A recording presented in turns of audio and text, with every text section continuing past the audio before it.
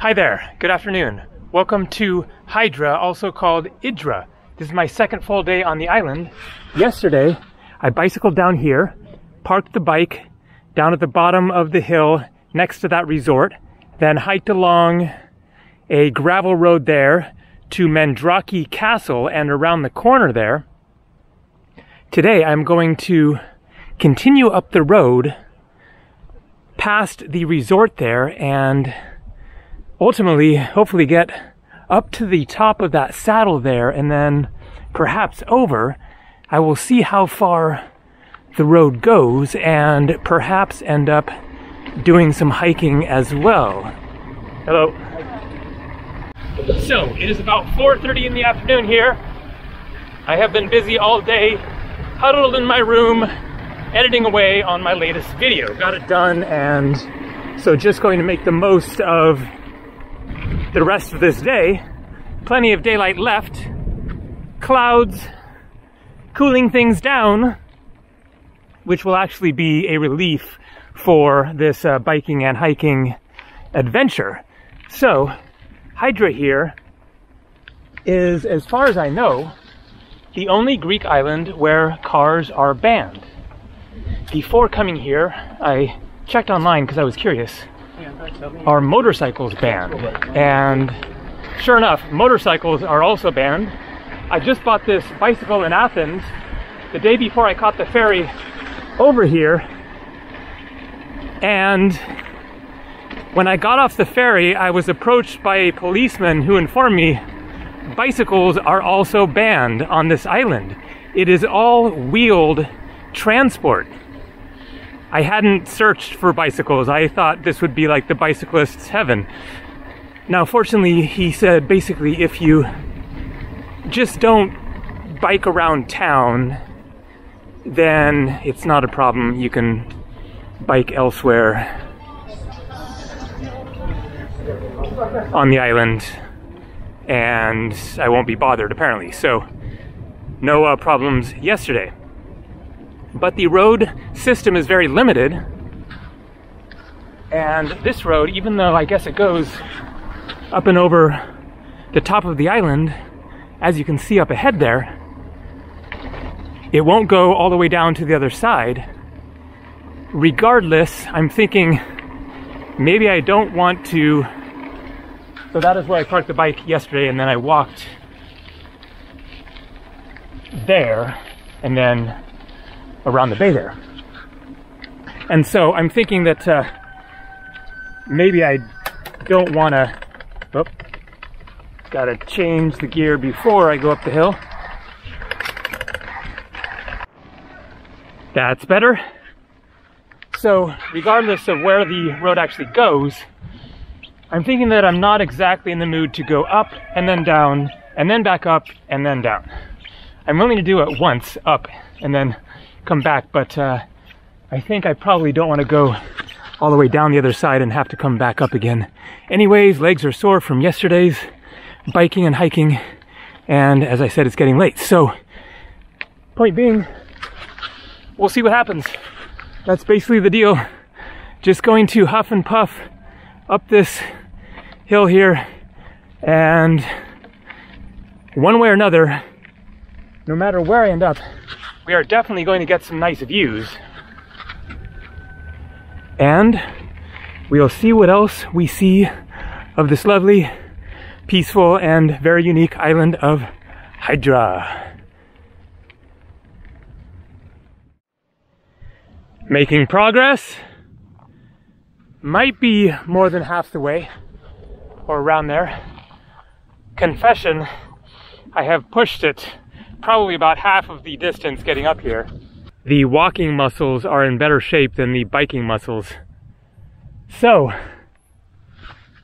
what the heck do you do if you live up there and can't drive or motorbike or bicycle? Just donkey it, I guess. I mean, that looks like a monastery perhaps there. The other one seems more like a residence, but maybe it's also a monastery. You know, maybe it's just uh, like monks that just live up there the whole time and then one person goes down for supplies every once in a while or something. Awesome views. That is the Greek mainland, a very large peninsula there. And then there is the island of Dokos and Spetses out there. I'm considering going to Spetses next, possibly tomorrow, trying to decide my plans. Unfortunately, my hotel is full tomorrow night. Otherwise, I would definitely stay another day there. All right, let's uh, finish off this hill.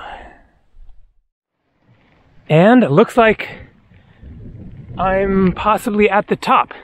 It wasn't that much further from where I was. What a shame though, all this garbage.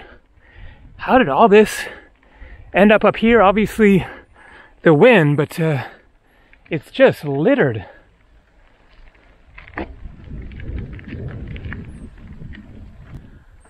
Okay, quick little detour here.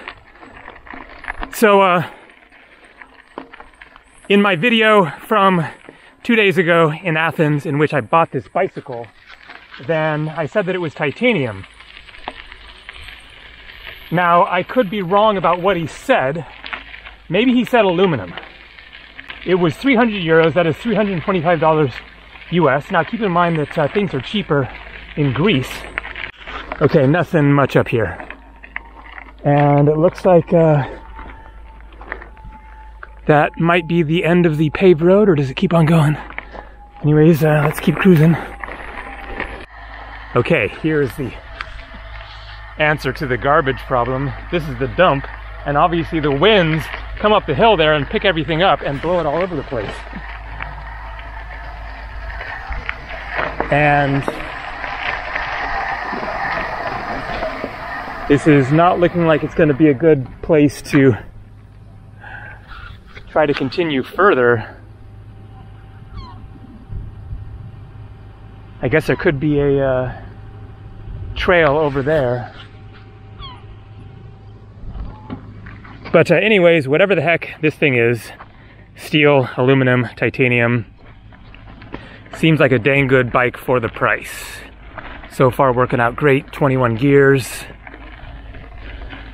included bell lights, etc. And uh, good knobby tires for these dirt roads. Going to park the bike over here so they don't think it's a piece of garbage. And then just walk over there, see if maybe there's a trail. Actually, maybe a better idea is to start from up there. I'm thinking, and try to go up that hill there to the top of that saddle, which is lower than that. And also, there's a massive steep canyon there. So, yeah, I think this is a better idea. Oh, maybe it makes sense to go back this way, see how far this road goes.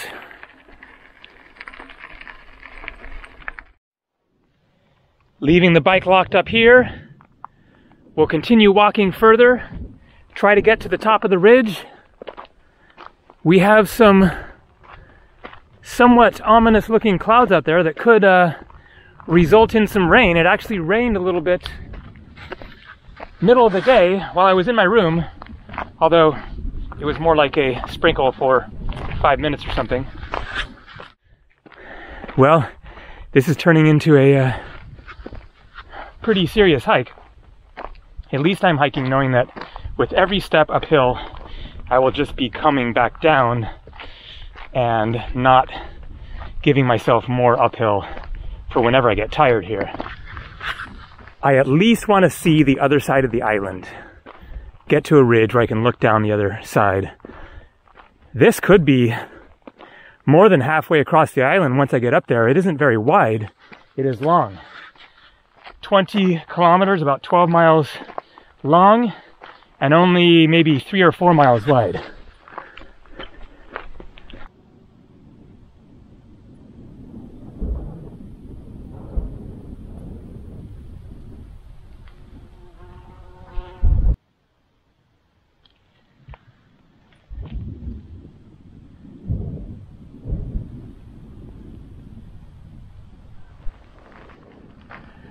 And here we have what looks like another monastery, likely.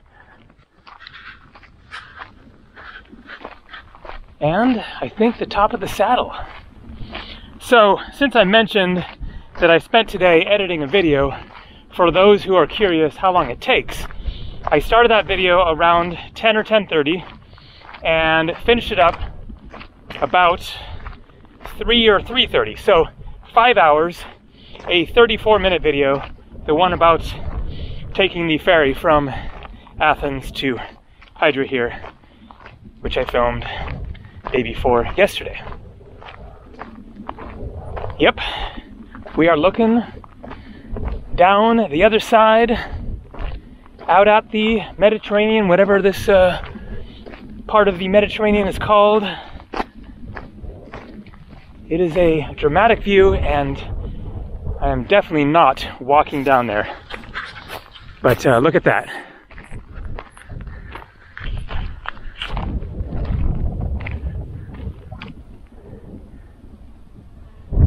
At least we got an idea of what the island is like, both sides, and how wide it is. I mean, you know, the other side you can see easily right there. It must be even narrower right here than more in the middle towards uh, the town. So maybe three miles wide or something right here. And so that is looking kind of straight north, I think. Wait. No. No sun, so it's hard to orient.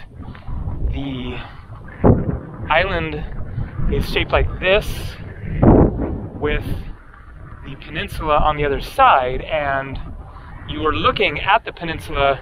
Okay, I have it completely backwards. The island is kind of like this catty corner looking that way from the town is looking northwest. This is actually looking southeast, I guess. That just feels kind of weird, but uh, well, let's check the map.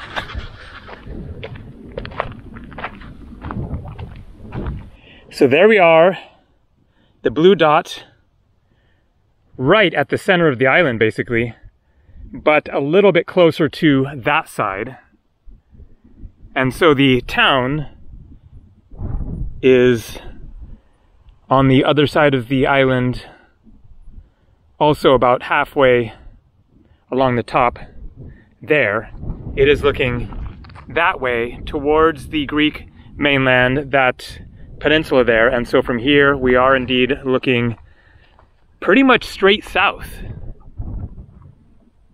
Little bay there, and then nothing for a ways, for a long ways, until you get to Milos Island, which I've been to once before back in 2009. So just open sea there for a long while. And no ferry boats going from here out to those other islands, the Cyclades. And so, in order to get over there, which is my ultimate plan, and I will have to, I guess, maybe go all the way back to Athens and then catch another ferry from there. Unless I can maybe go from Aegina, but uh, I think not. I think I will be making the trip back to Piraeus and then catch another ferry whenever I do that. Maybe after visiting Spetses Island for a few days. All right, well, I think that that is basically going to do it for this adventure, a uh, short one. I have more work to do this evening, so I think that I'm just going to uh, bike on back and then maybe uh, stroll around the town a bit. See you later.